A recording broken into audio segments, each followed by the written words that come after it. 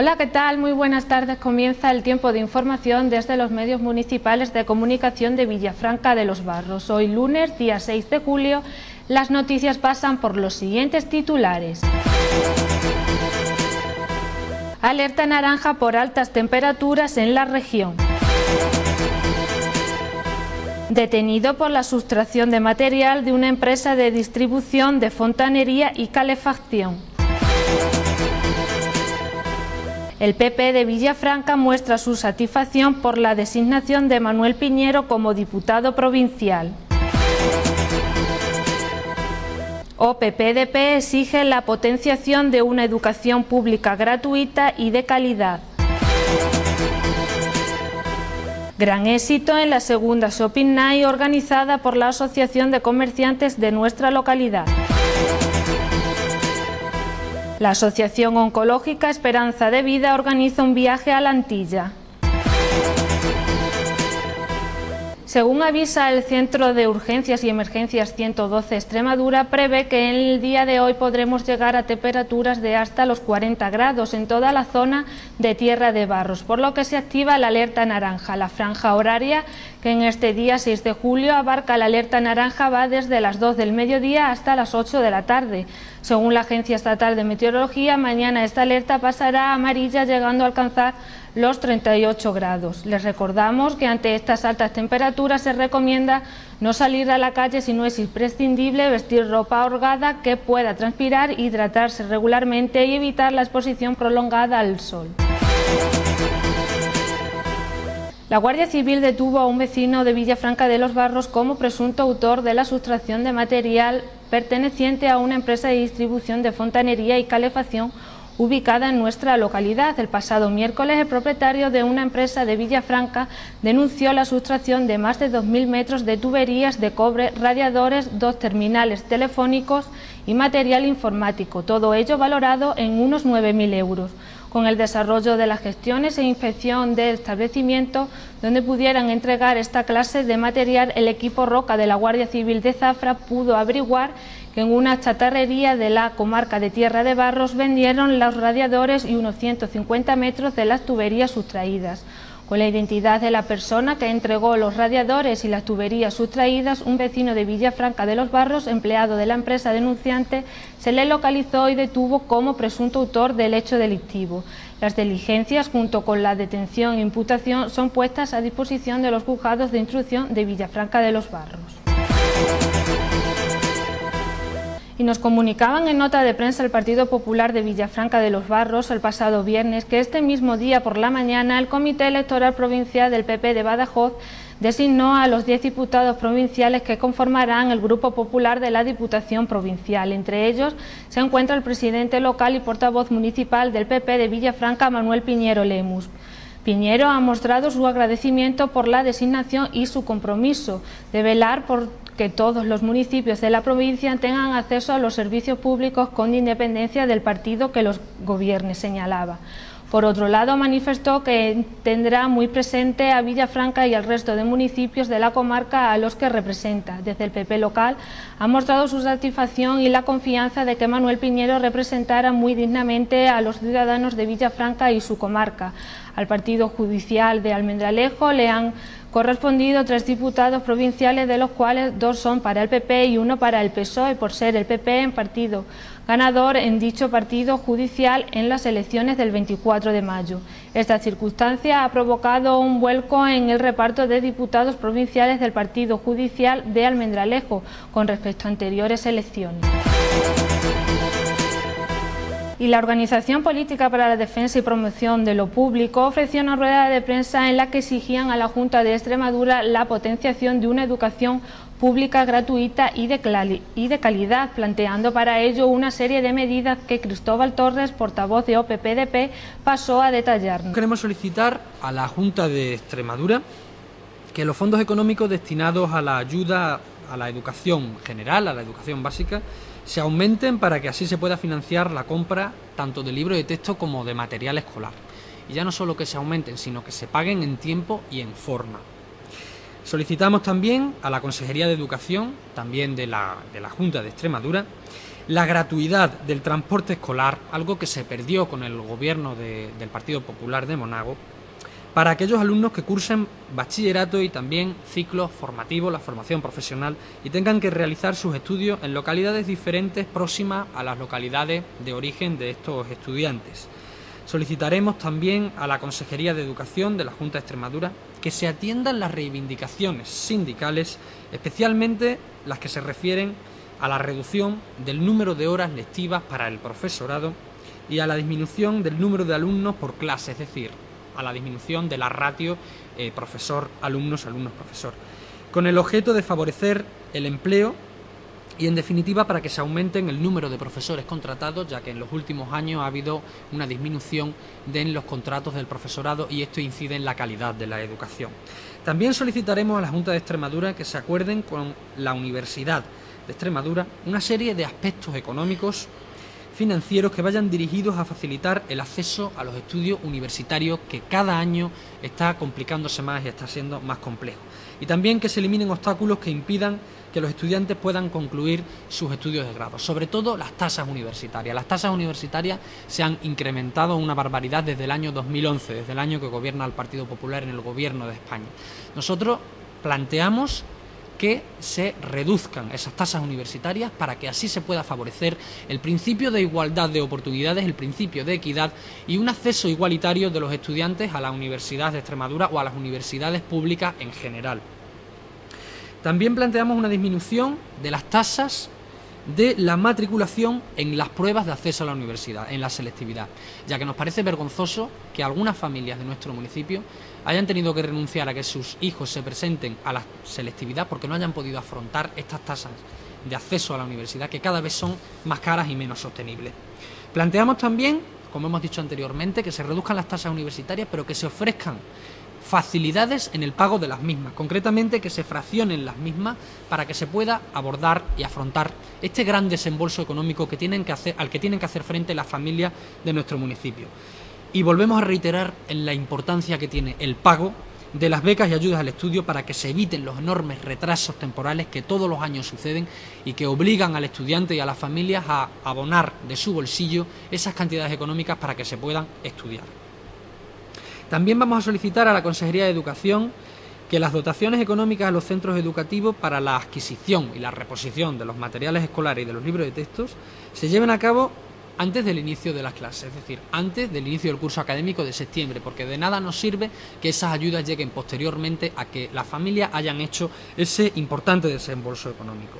Y también, y esto consideramos fundamental, y es que desde el Ayuntamiento de Villafranca de los Barros se prepare, se financie con 30.000 euros la adquisición de material escolar y también de libros de texto para los niños y las niñas de nuestro municipio. Estos niños no pueden estar sin libros de texto y material escolar y por tanto hay que garantizar esa partida que no sea reintegrable ni reembolsable, sino que salga de las arcas del ayuntamiento para garantizar el principio de igualdad de oportunidades y de equidad en el acceso a la educación de las niñas y los niños de, de Villafranca de los Barros. Finalmente, que desde el ayuntamiento mediante la constitución de una comisión representativa de los diferentes partidos políticos de la corporación municipal, se realicen las gestiones pertinentes y oportunas con los diferentes bancos y también entidades bancarias y financieras de Villafranca para que realicen una aportación económica a la educación en la localidad, constituyéndose un fondo de ayuda para apoyar a la familia, bien sea a través de obras sociales o a través de fondos específicos para contribuir a favorecer una educación pública, gratuita, de calidad y accesible a todas y a todos los villafranqueses. Finalmente, recordar que el próximo lunes, 13 de julio, a las ocho y media, vamos a hacer un acto en el Salón de Actos de, la Casa de la Cultura acerca de educación, de libros de, de texto y de material escolar. Acto en el cual invitaremos a las asociaciones de madres y padres de los diferentes centros de Villafranca de los Barros y por supuesto también están invitados todas y todos los villafranqueses que quieran pasar un rato debatiendo, dialogando e informándose acerca de este importante punto, de los libros de texto, del material escolar y de la igualdad de oportunidades y el acceso equitativo a la educación en nuestro municipio. Por otro lado, Juan Viera, miembro de esta corporación, apuntaba que desde OPPDP apoyan las propuestas de la Confederación Española de Asociaciones y Padres de Alumnos, quienes plantean que la educación básica, primaria y secundaria tiene que ser gratuita en todas sus facetas. Bueno, yo eh, recalcar una cuestión que ha señalado Cristóbal y que es importantísima, que eh, mientras que se consiga que la Junta de Extremadura financie la educación eh, básica, lo que es la educación primaria y la educación secundaria, para que ésta sea totalmente gratuita, como establece la Constitución española, como establece el Estatuto de Autonomía de Extremadura, como establece la Ley de Educación del 2006 aprobada en esta comunidad por los diferentes partidos políticos, mientras la Junta de Extremadura garantiza esa educación gratuita eh, para todas las familias que, tengan hijos en la educación básica, es preciso, planteamos que los ayuntamientos aporten una cantidad para facilitar esa gratuidad, cantidad de dinero que no sea de carácter reembolsable ni nada por el estilo, sino que sea una cantidad destinada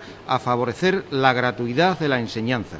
Nosotros consideramos que eh, tal y como establece la orden del 15 de mayo, en donde se habla de las subvenciones y ayudas de libros de textos y material escolar, eh, para los alumnos que utilicen material no reutilizable, como puede ser los alumnos del primer ciclo de primaria, con 30.000 euros se favorecía se favorecerá de manera muy importante la gratuidad de esa educación básica. Fundamental. En segundo lugar, eh, desde nuestra organización queremos y apoyamos la propuesta de la CEAPA, la Confederación Española de Asociaciones y Padres de Alumnos, que plantea que, de acuerdo a la Constitución española y a las normas que regulan la educación en este país, la educación básica, la educación primaria y secundaria, tiene que ser gratuita en todas sus facetas, tanto en la eh, en lo referente a libros de texto como en lo referente a material escolar. Por eso la CEAPA plantea que los padres deben exigir a los centros educativos el reembolso de los gastos que tengan en material escolar y en libros de texto.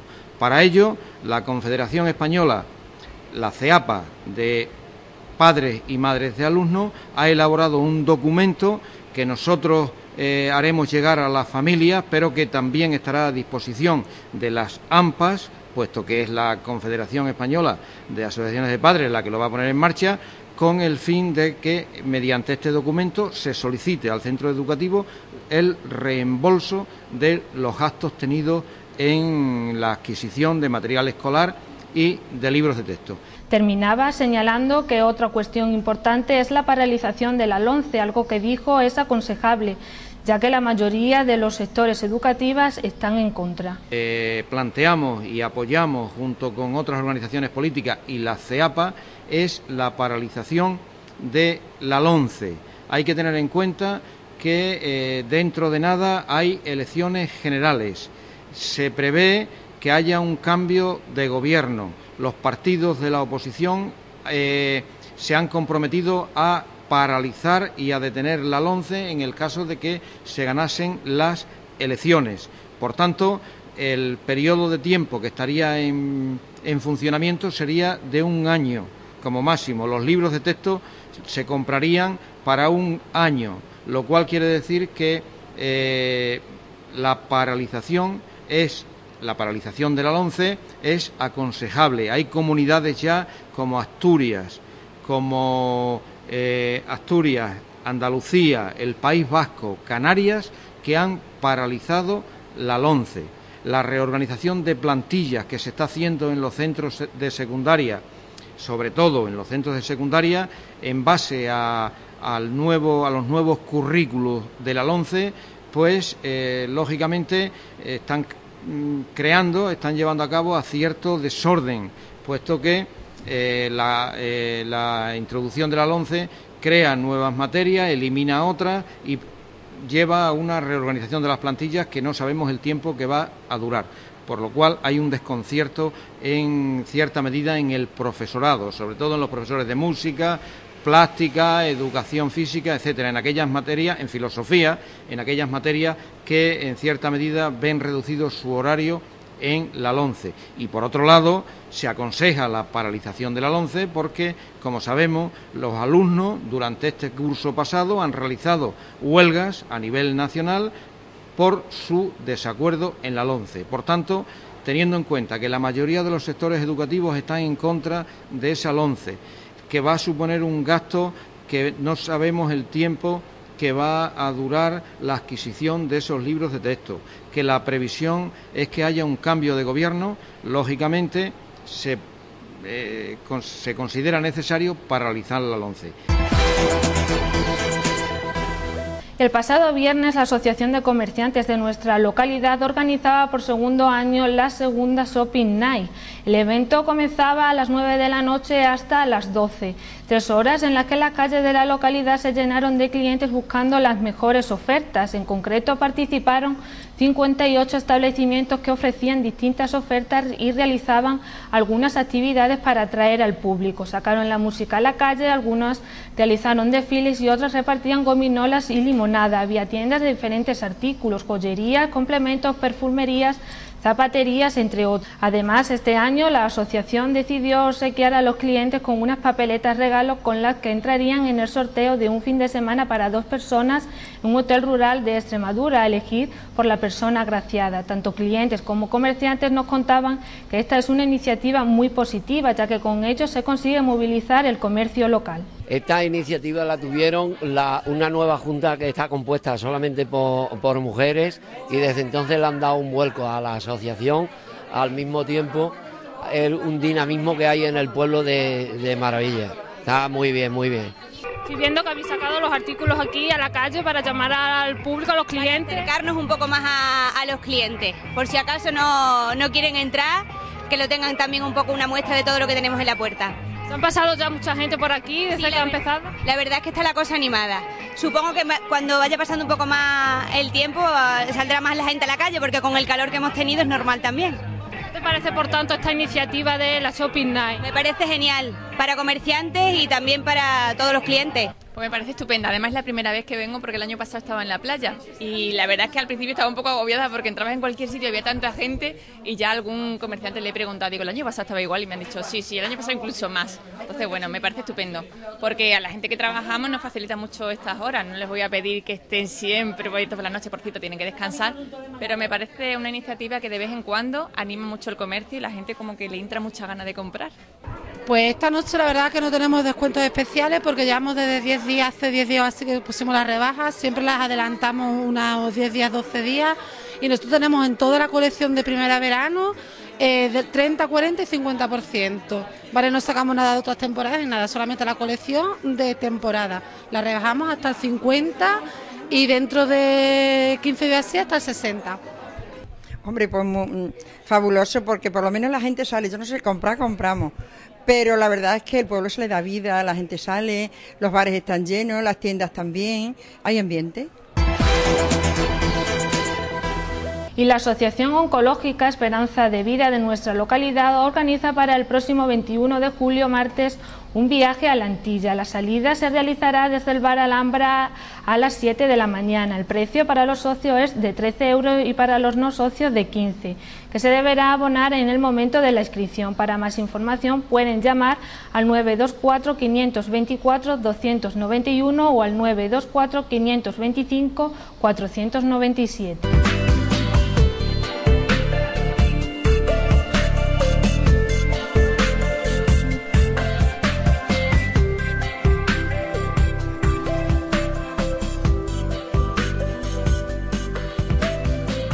Y llegamos ya a las previsiones meteorológicas. Según la Agencia Estatal de Meteorología, para hoy lunes tendremos máximas de 41 grados y mínimas de 20. Para mañana bajarán ligeramente las máximas hasta los 40 y se mantendrán las mínimas en los 20. Se espera que para el miércoles bajen las máximas hasta los 38 grados.